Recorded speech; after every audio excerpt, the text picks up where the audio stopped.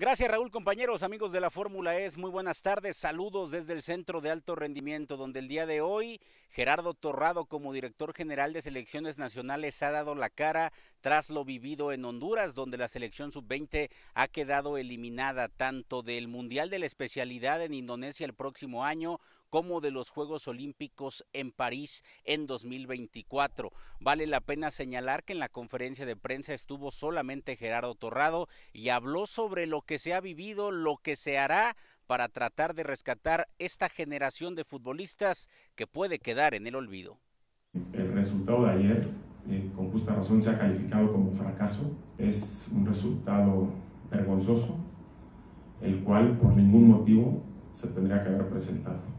En conjunto emprenderemos estas siguientes acciones. Nos reuniremos con Luis a su llegada y con todo su cuerpo técnico para hablar de la situación que pasó en el premundial. Eh, vamos a hacer un plan eh, de desarrollo deportivo para que estos jugadores de esta categoría sub-20 eh, no los perdamos en el camino, que les podamos seguir brindando competencias importantes para que se puedan seguir desarrollando y en un futuro los podamos ver representándonos en la selección mayor.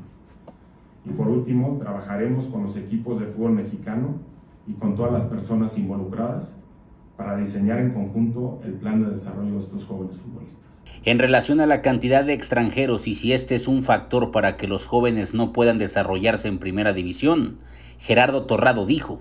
Muy probablemente pueda salir ese tema eh, a relucir y será un tema ¿no? que si sale a relucir, que lo platicaremos a detalle, ¿no? con, que lo, con quien lo tengamos que platicar, para ver en conjunto con la liga qué se puede hacer para que nuestros futbolistas tengan mayor exposición y más experiencia antes de llegar a jugar estos torneos. Sobre el futuro de Luis Pérez y si este tendrá que ser cesado, el director de selecciones nacionales dijo.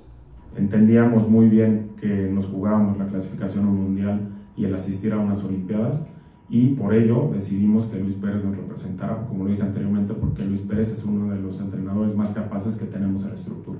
Quiero platicar con él, creo que lo, lo más importante es poder platicar con él ¿no? y con su cuerpo técnico, eh, conocer de viva voz su, su pensar de, de, la actuación que tuvo junto con su equipo y bueno, ya teniendo el análisis profundo que les comenté anteriormente, eh, junto con la estructura deportiva y claramente John, se tomarán las medidas necesarias.